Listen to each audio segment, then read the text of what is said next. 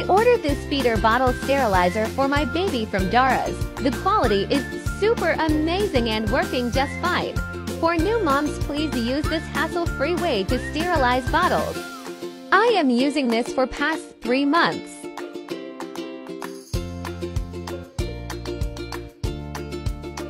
It cost me around 2,600 rupees. Easy method to use. Simply add water in its metallic plate and its auto turning off and on system is the main point to consider. Here is the product detail. Sterilizers are very expensive, but this is handy and pocket friendly.